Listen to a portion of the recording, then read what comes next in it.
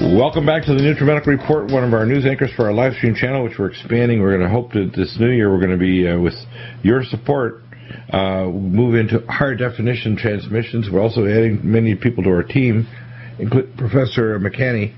Uh, Tim, you're, you're, probably the best analyst for military, geopolitical, uh, and uh, strategic issues. There's a lot of those going on, and uh, tomorrow is not the end of the world. And by the way, I just got a report that something like 50, 60 minutes ago, quote, the end of the world started in the Mayan calendar in some part of the world because it's already the 21st, I think, uh, beyond the date line. Uh, no, I don't see the end of the world But you know, they, they they never said it was the end of the world, and in fact, all No, the it's all- it's all people they interview that, that that are experts in their their heritage and their history say that's that's It's also- uh, it's all- a it's all- Hollywood hype. It's it doesn't It- it- mean now, that at all. I call them modern minds. These are liars that want to use this hype. I've also had people, and I'm going to repeat this statement. Uh, one person emailed me saying, "You said that Planet X is going to cross on the 21st of December." No, I didn't. What I did say is there are Planet X type objects, including Comet C 2012 uh, S1, which is 25, 26 kilometers across, and we're going to pass through the tail in January. Millions of miles from here. It's not going to hit. Well, we just had one that passed uh, closer than the moon uh, a few days ago. Right, but then we also have this fairly large comet, 170, 97 meters long. That's you know like 800 and some feet. It's a big comet, and that comet is going to pass less than 5,000 miles. Back in calculations before they classified it as quote classified back in May, it went from 100,000 miles out to less than 5,000 miles off the surface of the Earth.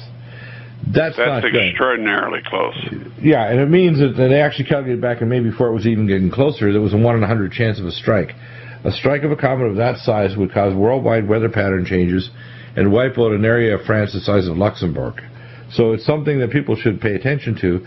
We're not dealing with, we deal with real issues like gun confiscation by the crazy government with the dictator in chief in in the White House.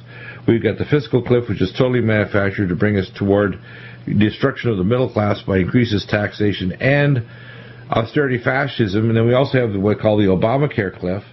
And we have the maniacs pushing for a war with Syria, where the Russians have countered by putting the Alexander or Iskander missiles in Syria, and they're quite capable. I want you to expand on this and tell us about the military aspects, because I believe the the, the if you want to call it the checkmate by the Russians makes it extremely unlikely that you're going to see the so-called Syrian Free Army make the the, uh, the uh, Assad regime fall. Even if Assad himself is killed, there's thousands of Assad supporters that absolutely cannot let the Alawites and the Sunnis and the Christians and the Jews are all making up this conglomerate of the population that's at risk from the Sunni launched NATO and American launched attack and regime change against Syria.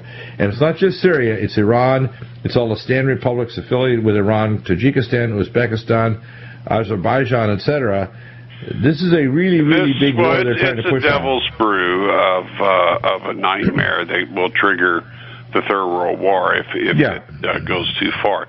Uh, you notice when they, uh, as soon as the Russian uh, Iskander or Alexander missiles were delivered, uh, they pulled uh, our nuclear carrier and assault carrier groups out of uh, range. We, uh, Oh, that's a smart. It's not a smart. I think it move. Other was words- the Eisenhower. I think maybe its battle group and also It- a uh, Yeah, marine and- and- amphibious uh, U, uh, group with an assault carrier. We got them out of the way. That missile is absolutely Deadly. one of the nastiest things out there. It has a Yeah. Mach six speed. Speed six Whoa. times the speed of sound.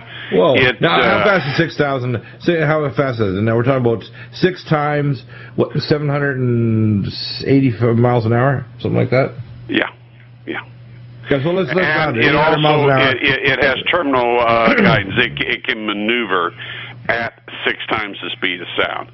So we're talking Uh, about five thousand has miles an hour, totally maneuverable, totally evasive, can fly under radar, have no idea it's coming. By the time you know it's coming, you're saying, "Hello, Jesus." Yeah, pretty much. Yeah. It's got a 1,550 pound warhead, uh, so it's uh, almost a ton warhead, and that, Okay. ca- well, it can be nuclear, it can be chemical, it can be fuel air explosive, it can be. Uh, that warhead will take out a, a supercarrier. Any Right, so- warhead that fast. So basically, in the military technology, I would say, just as a, uh bystander with a little humor, I call that the oops, in terms of oops, we didn't think the Russians really meant it. They don't understand Russian psychology. They're not going to come out and tell you what they're going to do. They're just going to go checkmate. Iskander missiles are there, and the next step, I believe. well, I'll tell you what. These missiles are normally carried in a long armored vehicle, two to a vehicle. So they offloaded 24 vehicles. That's 48 uh, missiles. We can't even hardly see them in flight, and. Um, Basically, the uh, our probability of taking one of them down is well under ten percent. So basically, say- we can't I- stop them.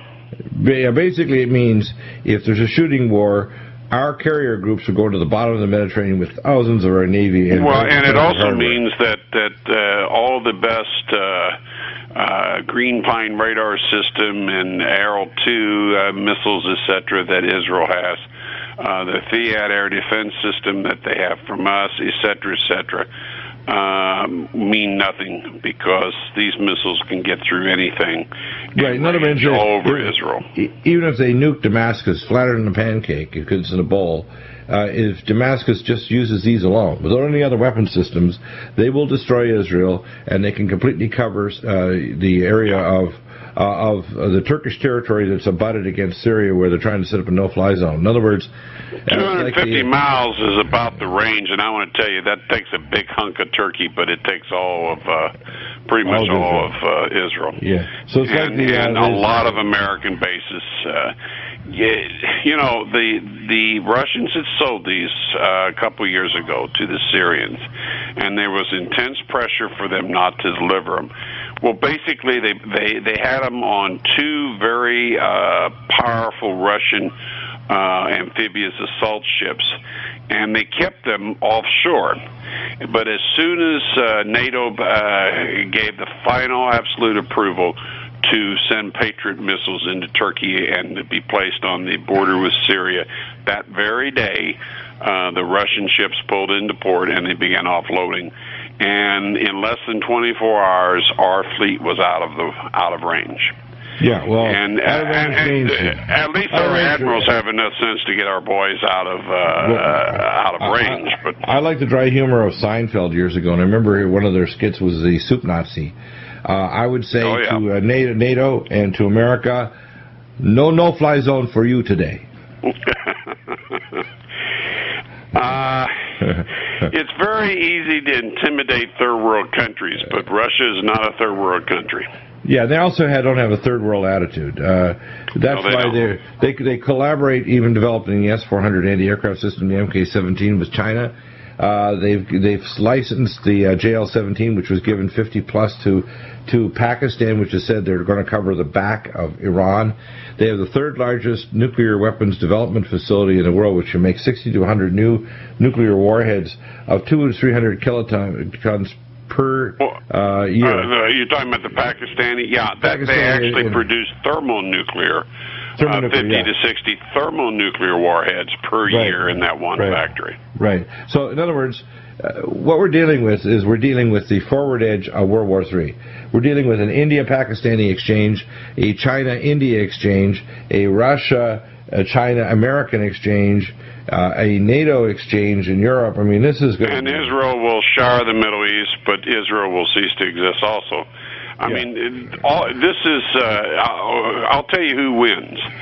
Satan, because he has a giant blood orgy of millions Right. of God's children killing one another. right. But So, uh, ultimately, as we know, his days are numbered on this earth. exactly. That's why he's in a large panic. Absolutely. Amazing. The analysis is no, it's not going to end tomorrow, but the future is bleak. Without the Most High God, as I say, your first prepper requirement is have a relationship with the Most High God because you can have bullets, food, and water. If you don't have God, you're done.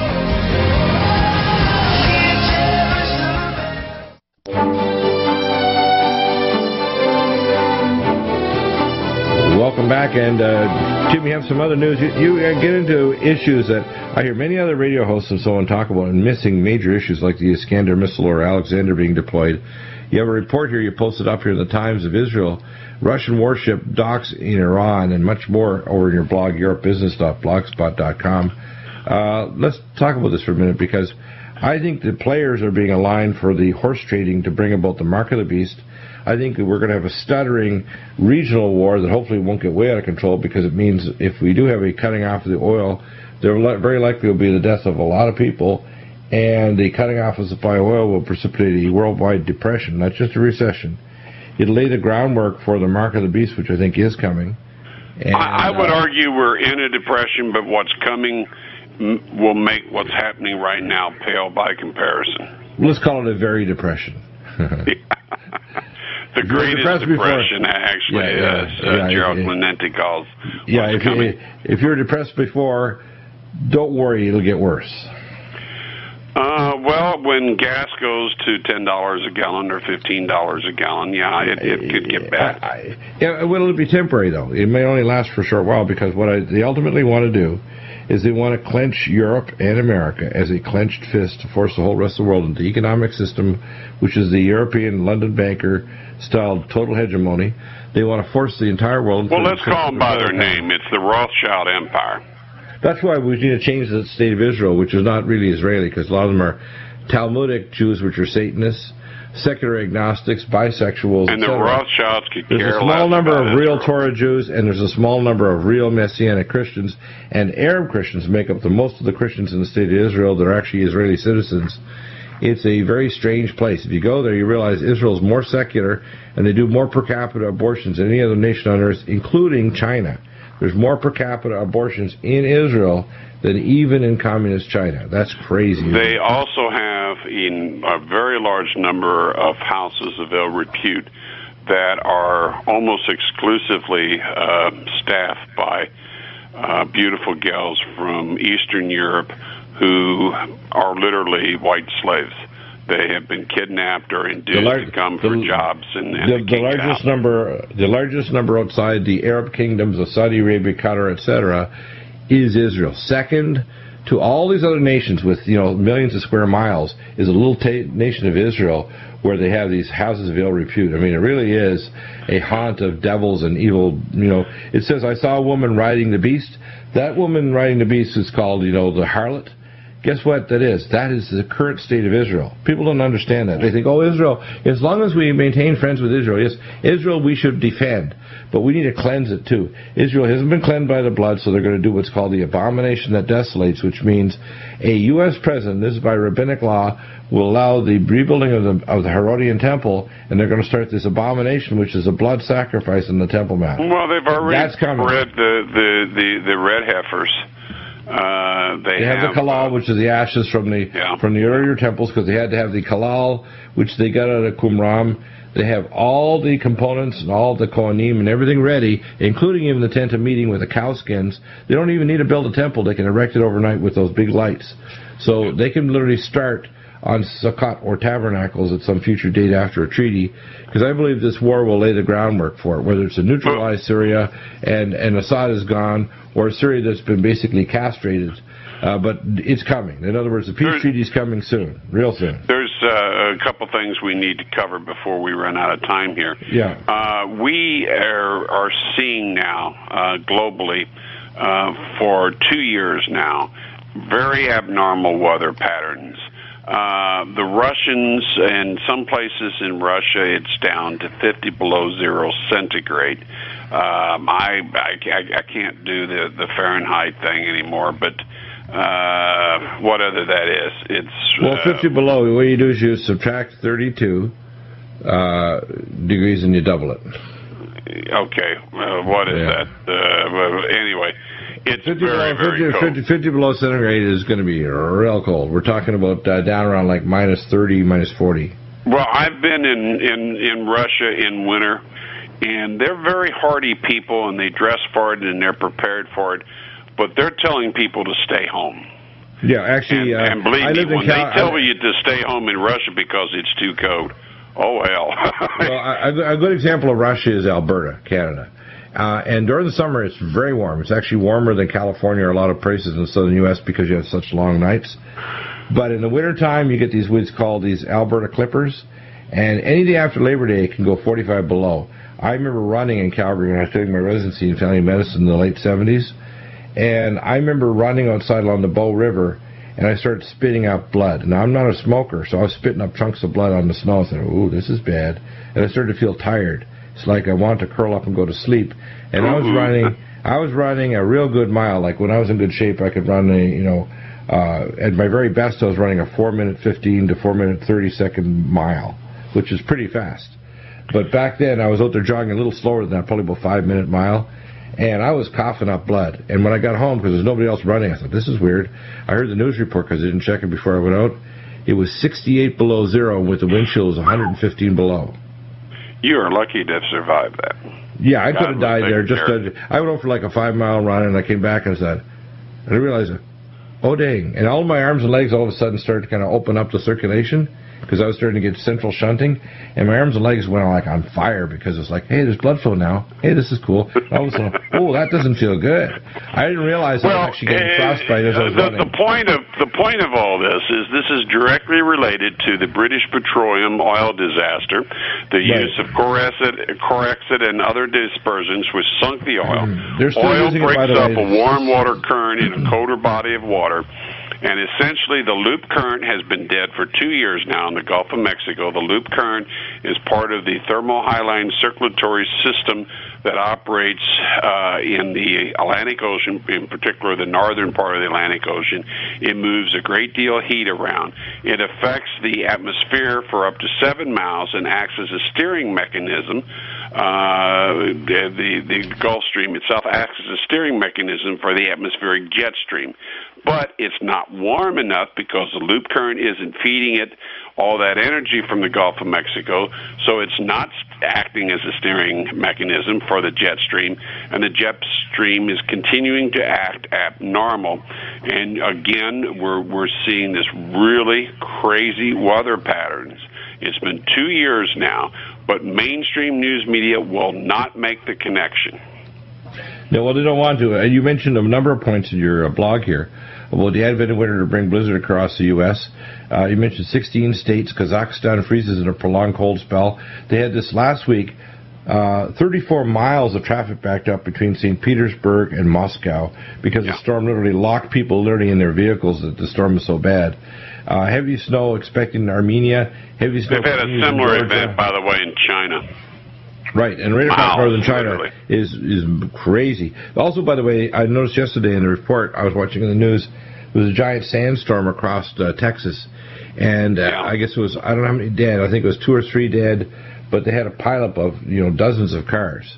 So these the kind of sandstorms are the kind we had during the Dust Bowl days, and the hydrofracking they're doing across the U.S. pulling the water out of the water table is killing trees, killing plants, and killing animals, killing cattle in the field. Right, you can't pump that water out and hydrofrack it and put chemicals back onto the water there and suck the water out of the water table because you stop transpiration, you stop the plants being able, the trees to have water to live. Crazy attitudes, crazy policies. Back in a moment.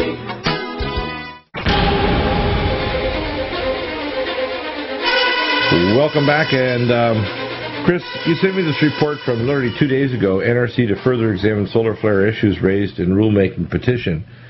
Uh, it's amazing. Maybe we've embarrassed them literally asking better questions, realizing that, uh, as they say in the military, we're screwed and tattooed. We have not prepared our grid to deal with CMEs that could occur in 2013 or 2014. We have a narrow window to actually get the equipment upgraded.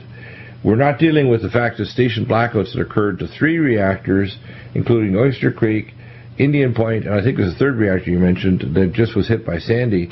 These reactors, when they go into hot shutdown, are going to vent off tritium and other radioisotopes.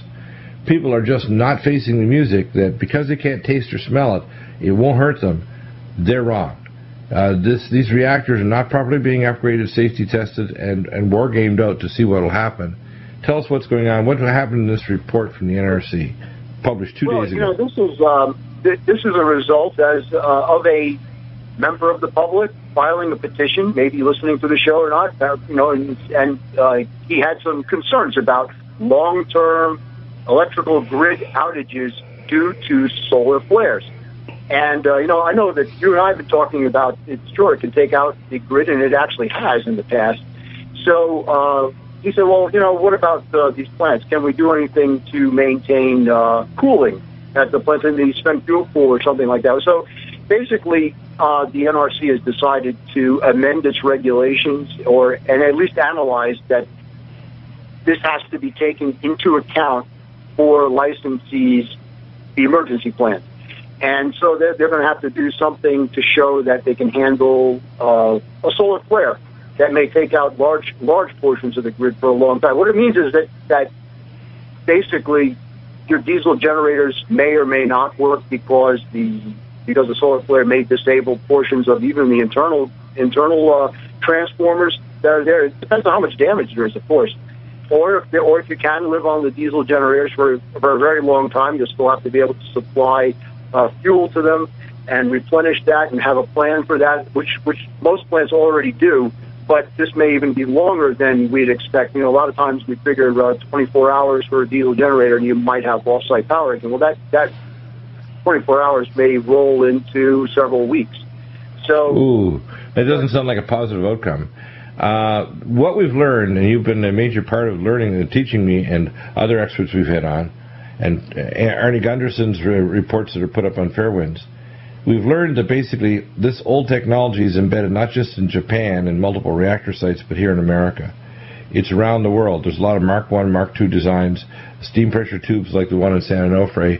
Bad technology. We've also discovered many of the places like Indian, Indian Point off New York are actually sitting on fault line thrust zones that 75% of our reactors are within what's called a strike zone of a major geotectonic event we're not ready for any of this stuff. We haven't upgraded technology. We don't want to put in the money. We're just going to pretend it's not happening. And the Japanese have gone way overboard. They're doing what I call national harikari, harikari. They're literally committing radioactive suicide by even spreading the food around. Say, make sure you do your part for the nation by eating Fukushima fruit. it's crazy. These, these Japanese need to get smacked up the side of the head. These men that are pushing this through the Japanese diet, which is a party. I, that's a funny term to call diet. Only it's a radioactive diet. That's the name of their parliament, by the way.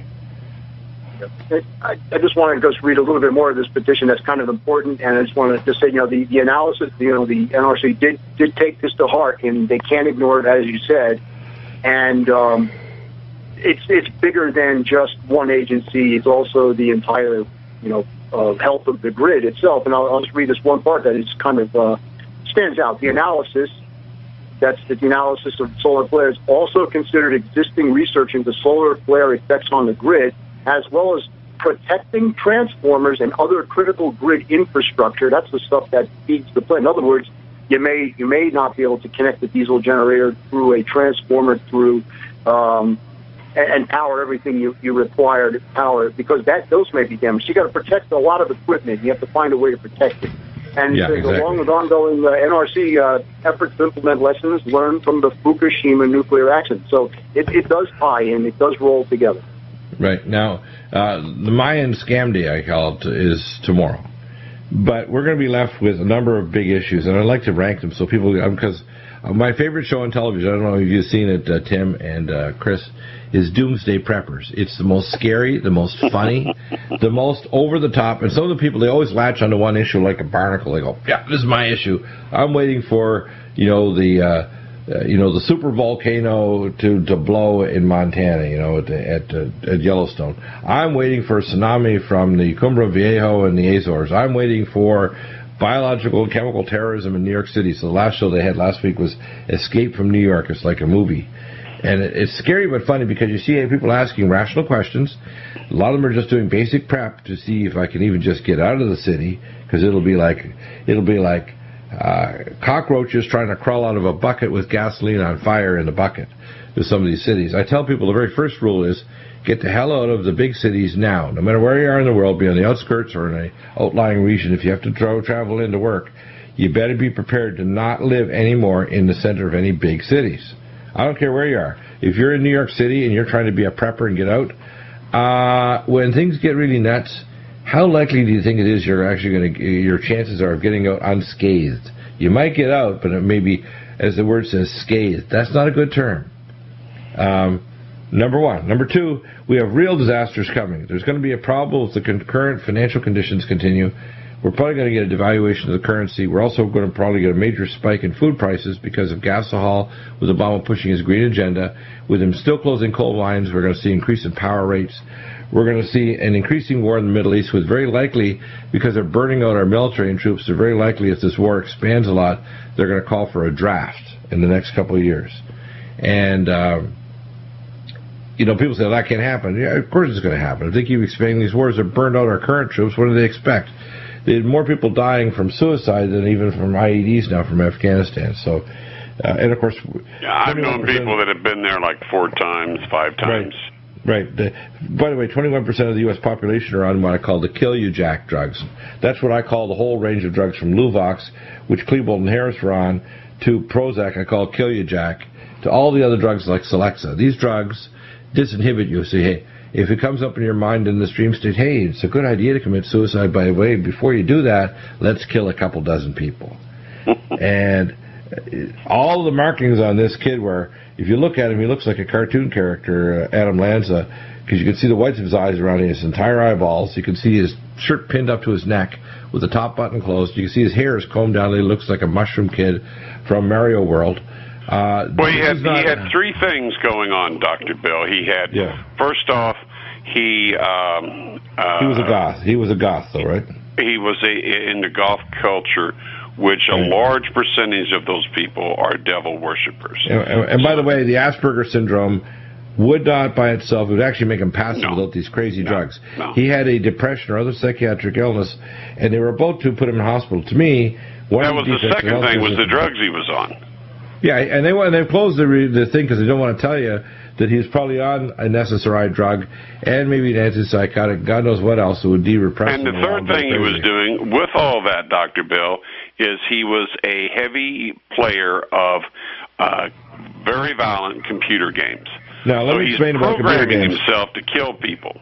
I, I, talked to the senior teachers at Air Force Academy in the early 1980s when they were contracting to Atari their big concern. I talked face to face with the senior uh, trainers there at Air Force Academy, which is like the West Point for our advanced pilots. As they said, we don't know if we can turn off the kill reflex if we put these Air, uh, Air Force trainer equipment in the simulators in our academy. Uh, and what they these are now all over the place. Now you got Call of Duty and you got all these other war games, and they're so realistic. And now every time these kids do these and do a kill and then the replay reset, they're getting a little burst of dopamine now, I call this, in a sense, uh, what I call uh, mass murder pornography. It's the same way as you get a dopamine surge when you look at pornography, okay? That's why people get erectile dysfunction after they look at pornography because they don't get as much dopamine with their partner. When people are like this, the only way you can get high now is you got to kill a bunch of people in real life. And by the way, the biggest high is now the police arrived outside. Time to pop your brains out the back of your head with a bullet through your roof of your mouth. They're electronic drugs, and we got to realize that's why these games are dangerous.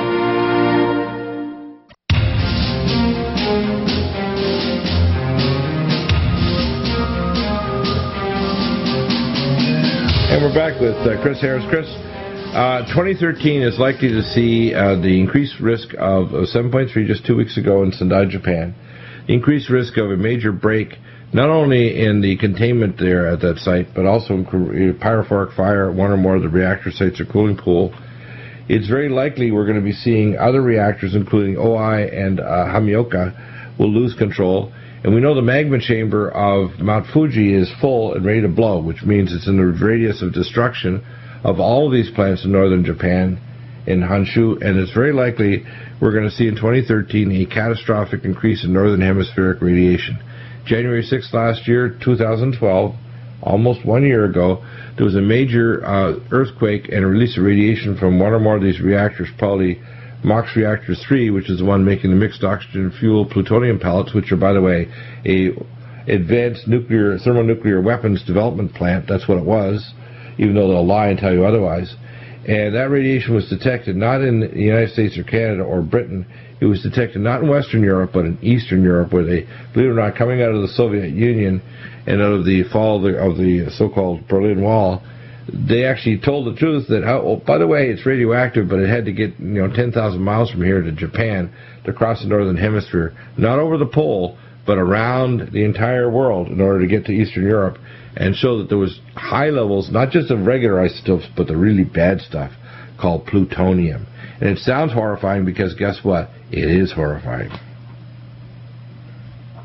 It's taken such a long time to establish any kind of effort to even think of uh, cleaning it up and containing it. And, and I, I've been driving home. Containing it's not going to be easy to do. And we just saw. Just, well, uh, we, we, we, can think out of the box. We, the first thing, and we, we both talked about this, is we need to make a solution that is a solution of a brine and boron, so you can have a boronated brine to actually create a crystal structure to kind of lock it in. Number two, you need to actually build a corium catcher underneath it, so you need to use tunneling equipment to create a corium catcher. You need to create what we call depleted uranium containers you could slide in sideways under there, weld them together, and have a pump system to literally take water that's highly radioactive, which is pumping through there to keep these reactors cool, and then turn that into a solid waste and take it away in double hulled ships to a tin mine thousands of miles away in a safe uh, manner. Uh, this is a very expensive project. This is going to cost hundreds of billions of dollars to fix. And if they don't fix it, it's going to continue burping radiation in major minor burps for millennia. This is a scar on the planet Earth, and that radiation will be sneaky. You may just find, oh, the abortion rate's higher now, spontaneous miscarriage rate. Or, hey, look at the amount of neural tube defects. Or, look at the number of people with Alzheimer's disease or cancer or heart disease surging as the radiation surges out of Sendai, Japan.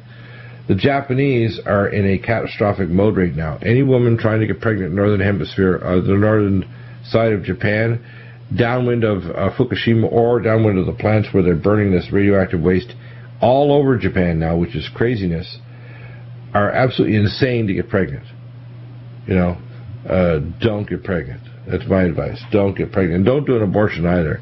I'm talking about use non abortifacient, non birth control means of birth control. For God's sake, women should realize this is dangerous. Get the hell out of there. Move to a southern island and petition your local politicians not to burn radioactive waste. This waste should have been taken rather than averaging it, put in containers and shipped to the bottom of a tin mine somewhere. But this idea of just burning it, this is a crime against humanity. It's globalizing radioisotopes that were in buildings and other material they averaged, inserted it back into the atmosphere, and it's blowing over us. So when we're sitting around looking at the nice weather here in Southern California, we're getting radiated from idiot policies from these Japanese. I'm not happy about it. Uh, this this is something that we're all we need to learn from this and, and prevent it yeah, from happening elsewhere. And you can't go into a kind of like a stubborn denial state where the the strange culture of the Japanese says, you know, you have to do national uh, retribution. You must eat Fukushima food. You must share the suffering of the Fukushima people. You must have your children destroy their DNA with radioisotopes. And you must not grumble. You must not tell a doctor it's radiation because if you do, we won't see you as a patient. They're actually doing this right now in Japan. It's like, how obscene can you be to tell children it's the national duty to eat radioisotopes, and when they complain that their teeth are falling out or they're getting sick or getting bloody diarrhea or they're all of a sudden now have leukemia or some other horrifying problem, that you're just complaining. And if you mentioned that it could be due to Fukushima or radiation, the doctor is not in. The doctor won't see you. you That's know, what's actually happening. You know what that sounds like to me is is is uh, a forced suiciding of a large part of the Japanese population by their own people.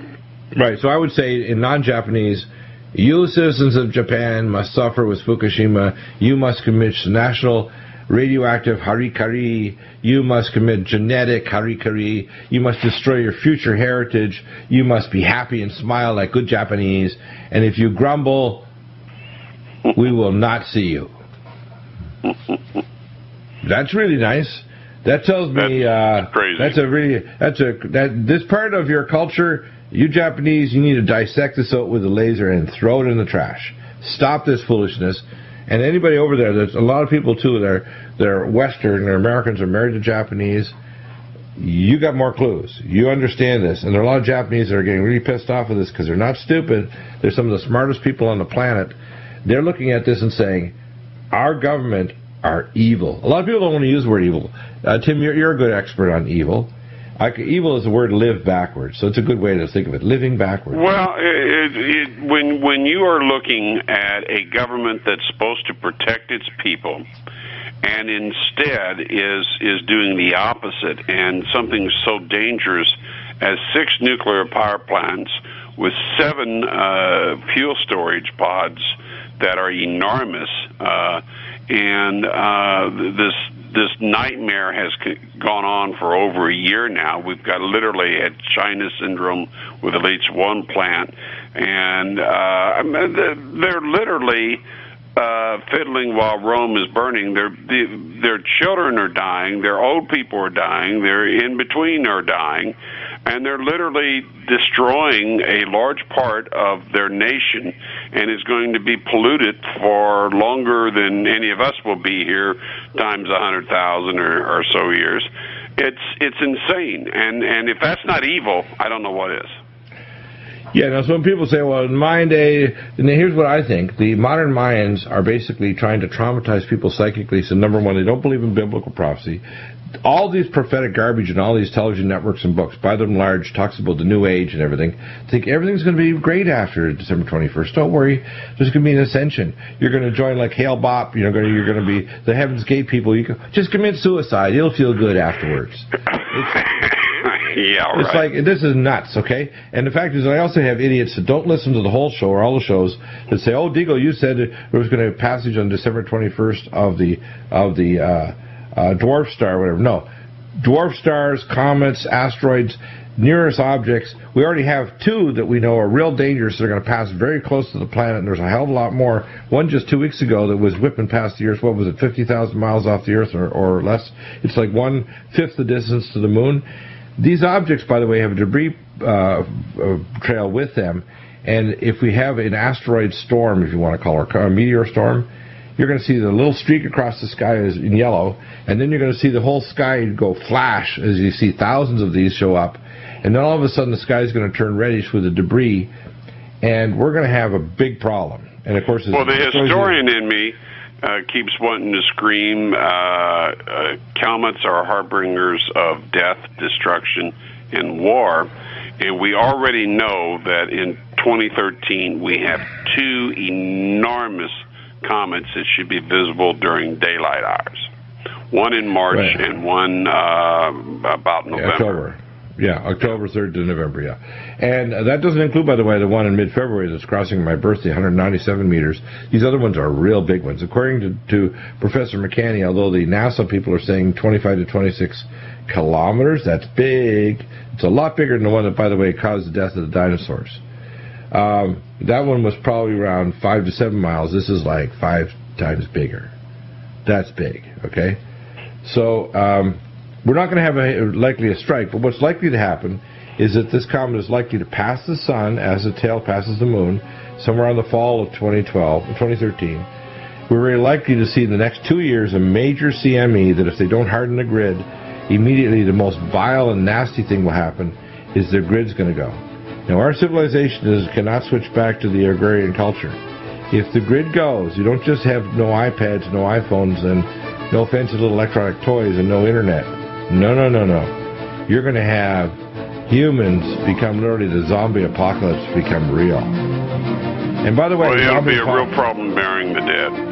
Yeah, well, yeah. And the other, by the way, the bioweapons that the Syrians and Iranians have for the biopreparat includes a zombie pox, if you want to call it, an anthrax or a rabies type virus that eats the cortex of the brain and turns human beings into living zombies. It's real, it's not imaginary.